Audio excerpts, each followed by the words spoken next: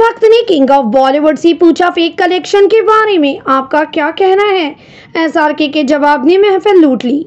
King of Bollywood यानी शाहरुख खान अपनी बेतहाशा फ़ैन फॉलोइंग के लिए ही नहीं जाने जाते। वो अपने सेंस ऑफ़ ह्यूमर के लिए भी बहुत चर्चा में रहते हैं।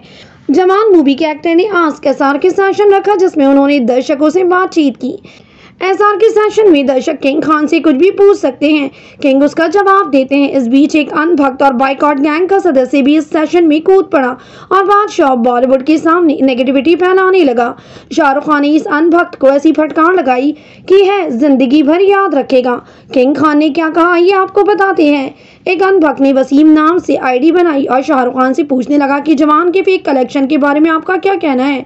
रिपोर्ट्स आ रही हैं कि प्रोड्यूसर फ़िल्म का झूठा कलेक्शन बता रहे हैं। क्या ये सही है?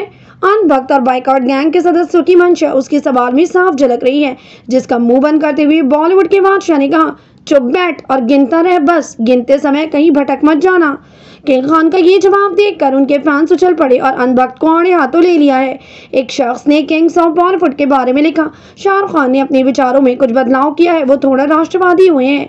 यही कारण है कि फ़िल्म फ्लॉप नहीं हुई। अन्यथा मुझे तो पूरी उम्मीद थी कि शाहरुख खान झुकेंगे नहीं तो फ़िल्म फ्लॉप हो जाएगी। बहुत बहुत शुभकामनाएँ, बहुत रेवेन्यू मिला, बहुत कमाई हुई। एक यूज़र ने लिखा, ये शाहरुख खान है, बीते लगभग तीन दशकों से ये अपनी फ़िल्मों के माध्यम से भारत की जनता का मनोरंजन कर रहे हैं। इनकी माइनॉरिटी से होने के कारण इनकी मूवीज़ का बाइकआउट किया गया। ना जाने कितने कैंपेन और इनके परिवार के खिलाफ किए गए। परंतु ये व्यक्ति डटा रहा क्योंकि इसे ईश्वर पर भरोसा है।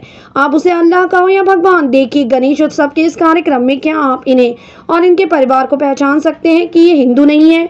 शाहरुख खान सभी धर्मों का सम्मान करने वाले व्यक्ति हैं। भक्तों को इनसे नहीं, बल्कि इनकी सफलता से चढ़ है। भक्तों का फंडा है कि अगर किसी की बराबरी नहीं कर सकते तो उसे बदनाम कर दो। लेकिन शाहरुख के साथ लोगों की दुआएँ हैं, प्रार्थनाएँ हैं। आप यूँ ही बढ़ते चलिए, शाहरुख। देश आपसे प्यार करता है मुठ्ठी भर नफरती चिंटू इस देश की विरासत नहीं बदल सकते।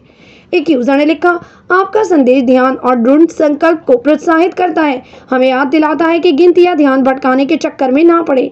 ये हमारे लक्ष्यों के प्रति प्रतिबुद्ध रहने और जो वास्तव में मायने रखता है, उसे नजरअंदाज ना करने का हान है। पुरस्कार पर नज़र रखना ही सफलता का मार्ग है। आप सोशल मीडिया पर एक अनभक्त की भड़ास पर किंग खान के इस मुँह तोड़ जवाब को कैसे देखते हैं? अपनी राय कमेंट सेक्शन में ज़रूर दें।